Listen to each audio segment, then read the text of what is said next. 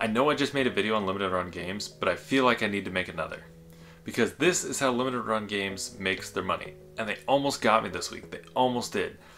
I got the notification, I saw this game coming out, I was like, wow, I have to have it. I just might never be able to get this game again. And then I checked my email, and I realized that's not the case at all. I came crashing back to reality. These games aren't limited at all. This email I got was also from Limited Run Games, reminding me to check their Amazon store.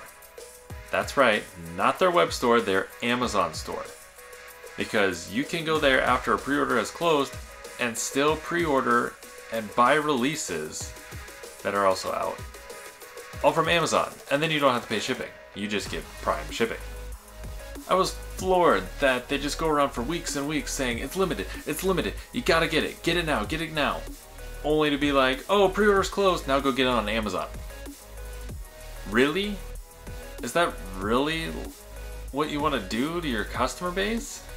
They feed on FOMO, or the fear of missing out, and and try to entice you to getting off their website when they're just going to go put extra on Amazon or take conventions or whatever. It's not really a limited product at all. Their FOMO tactics make you feel like, well, if you don't get it, you're to regret it. I mean, look at the third party prices. And yeah, that applies to some of the old games where they actually told you how many they're printing, but they don't anymore. They print who knows how many. They're just like any old publisher. It's not public knowledge. So there's probably a ton out there, especially if you can go to Amazon and keep getting it after a pre-order window is closed. Rendering Ranger is the game that almost got me. I was scrolling through, saw Facebook. Wow, Rendering Ranger for the first time in English, Japanese exclusive SNES game. And somebody put in the comments, wow, full inbox copy is like $2,000 from Japan. So I went on my phone and I checked eBay and then, yeah, they're expensive, but not quite that expensive for a complete copy. And then you can get a repro copy with an English dub for like 20 bucks. Isn't that kind of what Limited Run Games is doing? They're taking the original. It's to be better than probably what these $20 cartridges are, but it's still like an English dub that they've done, and then they're reselling it to you. I don't even own a Super Nintendo, and I almost fell for this. I almost fell for buying this game that I can't even play, all because there's this fear of get it now, it's never been printed before, this is limited. Saying things are limited is a tactic that so many retailers and suppliers use to make you feel like you have to go to buy it, whether it's is actually limited to 50 copies or 50 million copies. You don't know because all they say is it's limited. That's all they have to say to entice fear in you that you have to buy it right now. Scott Pilgrim is a good game to pick on because they hyped the pre-order window for so long, saying it was limited.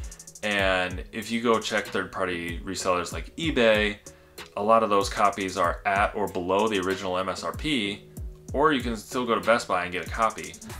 And at one point, Best Buy even had them as like a deal of the day, and they were 15 bucks. That's well below what that asking price was originally on their website. I didn't need to tie up my money for a year waiting for my copy to show up when in actuality there's still so many out there months and months later after I received my copy. And I actually could have paid less. So this is how limited run games makes their money. It's FOMO. It's just fear of missing out. They instill fear in you to make you feel like you have to buy their game. Trust me, you're not actually missing out. You can find that game on an eShop deal for five bucks. How often are you actually gonna play that indie game? Is it just gonna sit sealed on your shelf? A lot of times, these copies are ending up on eBay and you can find deals on them later. Quit doing the FOMO, quit buying from Limited Games website.